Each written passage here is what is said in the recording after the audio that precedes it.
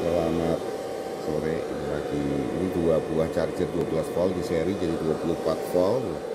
Untuk mensuplai tabung 25 volt. Tabung 25 volt. Ini dengan setting sudah disettingkan ah, tapi sekarang saya mau mencet tombol power tak jari saya habis. Gimana caranya ya? Ini tahu-tahu sini guling nggak? Nggak guling pegangin sini tangan pakai tangan.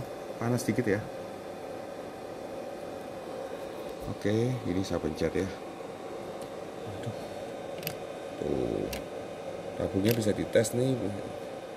Masih fungsi.